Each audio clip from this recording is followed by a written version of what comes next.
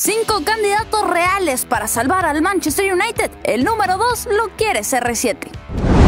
El Manchester United no está atravesando su mejor momento.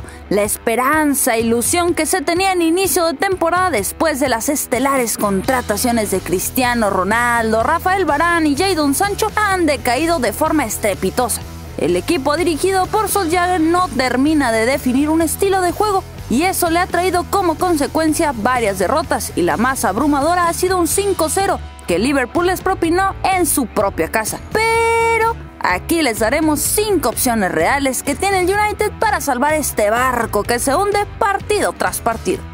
Esperamos que este video lo vea el United para que tomen nota. De momento, Sol Sager sigue siendo el director técnico de los Red Devils a pesar de aquella derrota que menciona Marcela frente a Liverpool, así que se ve complicado que lo vayan a echar al menos durante el transcurso de estos meses. El United no quiere traer cualquier relevo, por eso mejor se lo piensan. Ahora sí, que arranque la lista.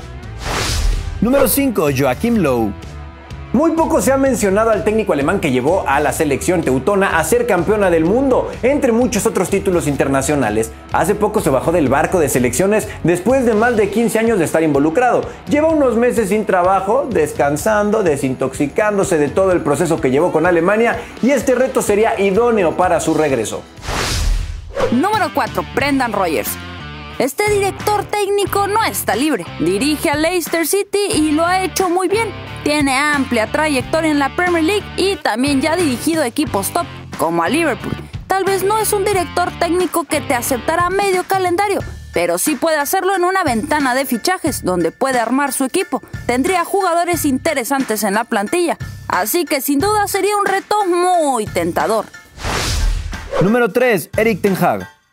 Y ya que andamos con técnicos ya con trabajo, hablemos del neerlandés porque ha sido deseo de varios equipos como el Barcelona o el Newcastle. Actualmente está con el Ajax y lo está haciendo bastante bien. No por nada varios clubes lo tienen en el radar. Su estilo de juego es muy ofensivo y ha sabido explotar muy bien a Sebastian Haller, que se ha hecho todo un goleador en la Eredivisie. Además que su estilo es equilibrado en todas las líneas, algo que le falta en exceso al United. Tal vez no aceptaría ahora mismo, pero sí sería un proyecto interesante durante uno de los mercados de fichajes. Número 2. Zinedine Zidane.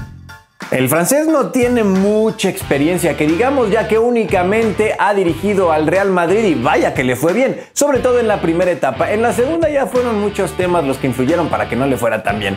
Pero ahora mismo es agente libre, tiene un currículum corto pero bastante bueno y además tiene el punto extra de que es del agrado de Cristiano Ronaldo, el manda más. Incluso se ha especulado mucho con que el portugués pidió la contratación del técnico galo, ojo con eso. Tal vez no tiene un estilo muy marcado pero sabe manejar vestuario y eso es muy importante cuando hay tantos egos. Número 1. Antonio Conte. Sin duda que el italiano es uno de los candidatos más certeros que puede contemplar el United, pues es agente libre, porque tiene experiencia en la Premier League con el Chelsea, equipo al cual hizo campeón de la liga y además es un director técnico con mucho carácter. Dejó el Inter porque el proyecto que se tenía planeado sería destruido por falta de dinero y necesidad de vender a sus cracks. Su objetivo es tener un equipo ya armado y con ingreso para poder arrancar con todo. Y el United tiene esas características. ¿Qué les parecen estos candidatos gambeteros? Como vieron, algunos de ellos no están libres, pero podrían encajar muy bien en el club y explotar al máximo la plantilla. Las otras opciones están completamente disponibles y por el carácter podrían convenir bastante. Pongan en comentarios quién para ustedes es el técnico ideal para salvar este barco que se hunde cada día más.